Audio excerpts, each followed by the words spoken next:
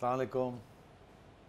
CD جی صاحب welcome back سر جی۔ بڑا آپ فریش لگ رہے ہیں، بڑی انجوائے وغیرہ کر کے آئے ہیں آپ لنڈن سے۔ دو دن چلے گا اس کے بعد وہی حال ہو جائے گا جو پہلے تھا۔ یہ بھی ایک مہینے کی چھٹی جو ہوتی ہے نا لنڈن کی وہ دو دن پاکستان کے مطابق ہوتی اچھا اس کی کیا وجہ سر جی؟ ہے وجہ یہ ہے کہ یہاں یہاں ہر وقت پکڑ دکڑ ماں بہن ہر قسم کی چیز ہو رہی ہوتی ہے۔ ہاں یہاں تو سکون ملتا ہی نہیں ہے۔ میں آیا ہوں اور آپ نے رانا سنالو کو گرفتار کر لیا۔ بالکل۔ سر اسی پہ میرا سوال ہے کہ رانا ثناء اللہ صاحب کو نیوز آ رہی ہے کہ اینٹی نارکوٹکس فورس فوروں نے تحویر میں لے لیا کہ پیچھے کیا وجہ ہے؟ آپ کو کوئی نیوز ہے؟ آپ کو کوئی خبر ہے کہ اصل کہانی کیا ہے؟ یار، بات یہ ہے کہ دو تین دن پہلے رانا صاحب پارلیمنٹ میں تھے اور وہاں وہ دو رپورٹر سے بات کر رہے تھے عمر چیمہ صاحب اور اعزاز سید صاحب۔ اور خاقان عباسی صاحب بھی قریبی کھڑے تھے اور وہ فون پہ بات کر رہے تھے۔ تو میری بات ہو رہی تھی اعزاز سے، میں نے کہا، بھائی، تمہارے سامنے کیا بات ہو رہی تھی رانا صاحب کے ساتھ؟ تو اعزاز مت نے مجھے بھی بتایا انہوں نے کہا جی وہ کہہ رہے تھے کہ انہیں خدشہ ہے کہ ان کے ساتھ کچھ حادثہ ہونے والا ہے اور وہ خوفزدہ تھے کہ حکومت کی طرف سے کچھ کارروائی ہونے والی ہے۔ اور انہوں نے اعزاز کو یہ کہا کہ میں نے تو اپنے جو آفیشیل گارڈز تھے ان کو بھی میں نے چھوڑ دیا میں نے اپنے پرسنل گارڈز لے لیے ہیں۔ اور تو مجھے فکر ہے کہ یہ کچھ کرنے والے ہیں۔ اور اور یہ پھر اس کے بعد یہ دو دن کے بعد یہ ہوا۔ تو میرا خیال ہے انہیں ظاہر اطلاع تھی۔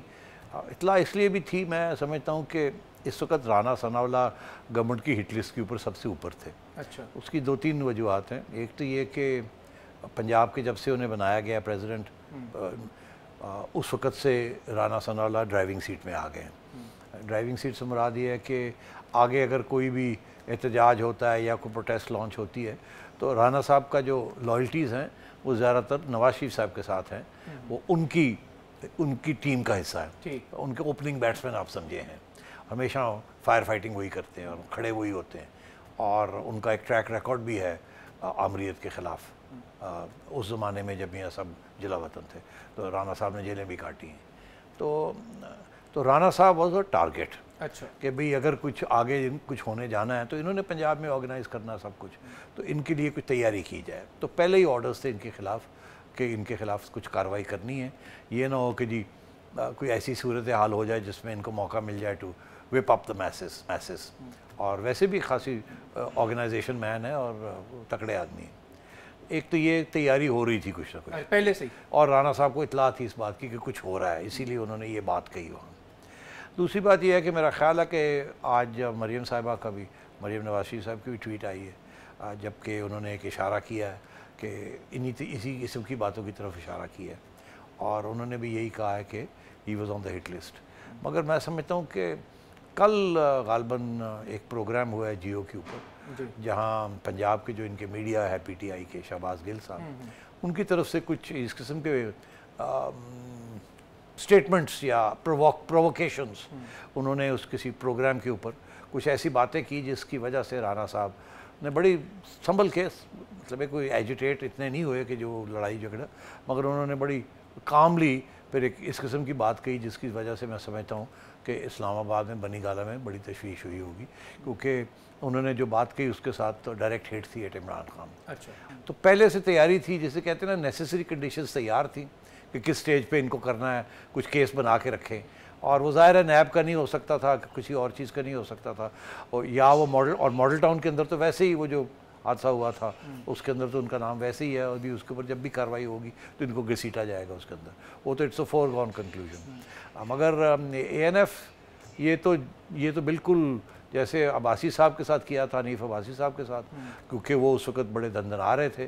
آپ کو یاد ہوگا کہ عباسی صاحب نے بھی عمران خان صاحب کی پرسنل زندگی کے کچھ معاملات کے اوپر کیسز کیے ہوئے تھے۔ آپ کو یاد بالکل۔ اس لیے ان کو بھی گرفتار کیا گیا۔ انہوں نے بھی جو بات کی ہے وہ بھی کچھ پرسنل قسم کی بات تھی۔ جس کے اوپر عمران خان صاحب بات نہیں کرنا چاہتے یا جواب نہیں دینا چاہتے اور ان کو تکلیف ہوتی ہے۔ تو وہ ہی ریئیکٹس ویری اسٹرانگلی ٹو اس قسم کی چیزوں کے اوپر۔ تو میرا خیال ہے نیسیسری کنڈیشن یہ آ گئی کہ کل جو انہوں نے بات کی انہوں نے کہا پکڑو ان کو۔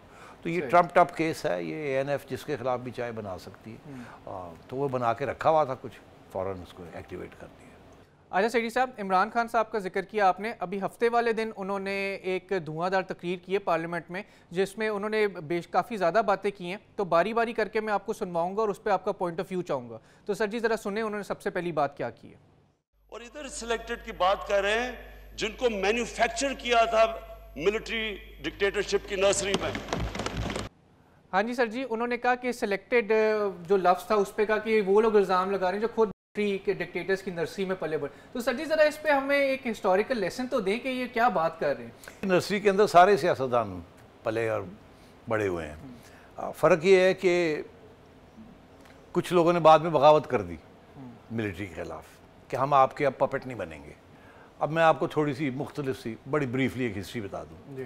کہ ایوب خان صاحب پر سب پہلا ڈکٹیٹر اور انہوں نے جو اپنی مسلم لیگ بنائی تھی وہ سب سے پہلی نرسری تھی۔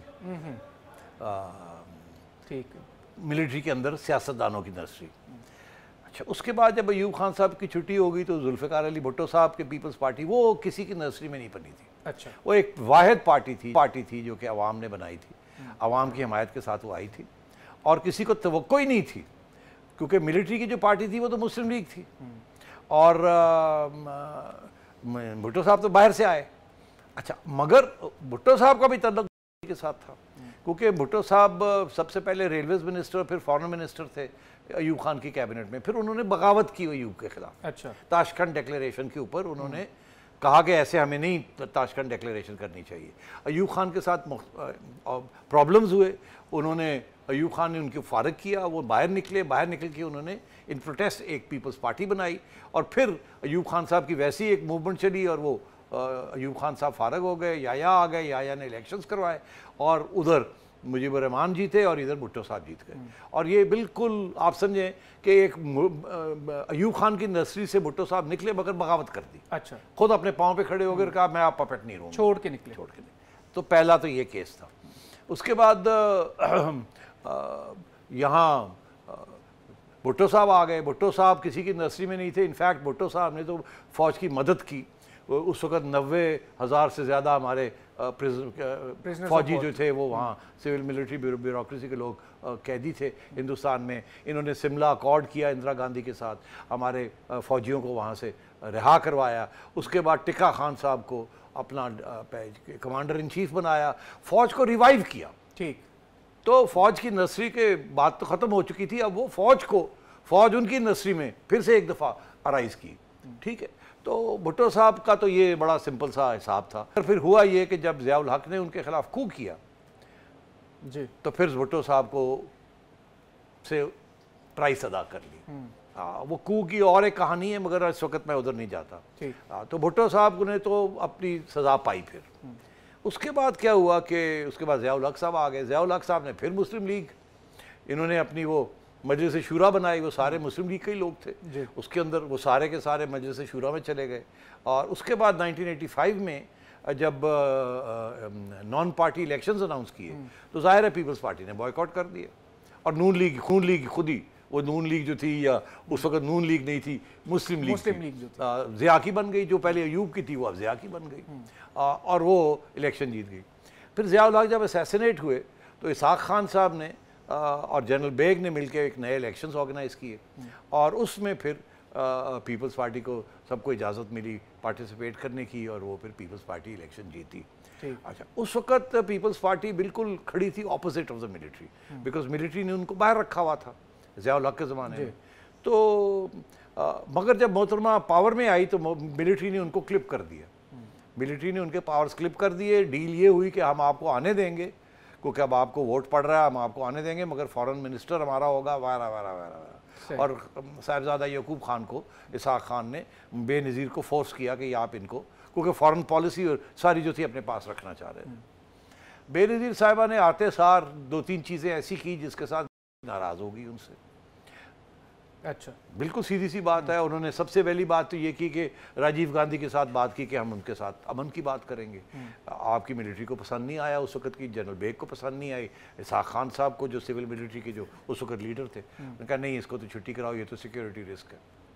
یہاں تک کہ اعتزاز احسن صاحب جو کہ ان کے ہوم منسٹر تھے انٹیریئر منسٹر تھے ان پہ الزام لگا دیا گیا کہ انہوں نے سکھ جو جو جو سکھ ٹریننگ کے لیے پاکستان آئے ہوئے تھے ان کو ان کی لسٹیں دے دی ہیں۔ ہندوستان کو یہ تو ہمارے دشمن ہے وغیرہ وغیرہ اور ان کو نوے کے اندر نواز شریف صاحب کو کہہ کے ایک ووٹ آف نو کانفیڈنس کر کے جس پہ آپ کو یاد ہوگا تاریخ بتاتی ہے کہ مڈ نائٹ جیک ہالز کا رول تھا بریگیڈیئر امتیاز امتیاز وغیرہ کا رول تھا کہ انہوں نے لوگ خریدے اور لوگوں کو اکٹھا کیا اور ووٹ آف نو کانفیڈنس کی کوشش کی۔ جب vote of no confidence fail ہو گیا تو پھر اسحاق خان کو غلام بیگ نے کہا جنرل بیگ نے کہا کہ ان کی چھٹی کرائیں۔ انہوں نے آرٹیکل وہ ففٹی ایٹ ٹو بھی استعمال کر کے محترمہ کو نکال دیا۔ تو یہ تو ابھی تک بغاوت چل رہی ہے نرسری نہیں چل رہی پیپلز پارٹی کی۔ اس کے بعد کیا ہوا کہ جناب نواز شریف صاحب آ گئے یہ تو اب نرسری میں آئے تھے اس پہ کوئی شک ہی نہیں ہے۔ مگر نواز شریف صاحب نے نائنٹی تھری میں بغاوت کر دی۔ میں ڈکٹیشن نہیں لوں گا۔ یاد ہے آپ جی۔ اور ملٹری نے ان کو بھی فارغ کر دیا۔ چھٹی ہوگی چھٹی ہوگی میاں صاحب کی میاں صاحب بھی باہر آ گئے۔ تو نرسری سے بغاوت باہر۔ ٹھیک ہے پہلے محترمہ باہر ہوئی اب اب میاں صاحب باہر ہو گئے۔ اس کے بعد کیا ہوا کہ نواز شریف جب باہر ہوئے تو محترمہ کو پھر واپس کوئی اور کوئی سیاسی جماعت نہیں تھی الیکشن بھی کرانے تھے۔ تو پھر محترمہ واپس آئی مگر اس دفعہ جب وہ واپس آئی تو ان کو اس بات کا احساس تھا کہ اب ملٹری کے ساتھ پنگا نہیں لینا۔ ٹھیک۔ پنگا لیا نہیں تو پھر واپسی چھٹی ہو جائے گی۔ تو اس دفعہ انہوں نے پنگا نہیں لیا۔ محترمہ نے ساری باتیں یہ کہی صحیح۔ اس کے بعد وہ ٹھیک تھی سیکیور تھی مگر آپس میں لڑائی جھگڑے شروع ہو گئے۔ اور پھر یہ الزام لگنے شروع ہو گئے corruption corruption corruption corruption corruption اور اس وقت صدر لغاری کے ساتھ ان کا جھگڑا ہو گیا ان کے اپنے آدمی تھے انہوں نے ان کو نکال دیا۔ جب ان کو نکالا تو پھر ظاہر ہے اگر ایک پارٹی کو نکالتے ہیں تو دوسرا کا وقت آ جاتا ہے۔ تو میاں صاحب واپس آ گئے۔ دوبارہ آ گئے۔ دوبارہ آ گئے۔ اس وقت کوئی مکمکا نہیں ہوا مگر میاں صاحب واپس آ گئے۔ جیسے میاں صاحب واپس آئے تو انہوں نے اپنا وہ پرانا ایجنڈا جو تھا نا وہی ایجنڈا پھر سے برقرار کیا۔ سب سے پہلے تو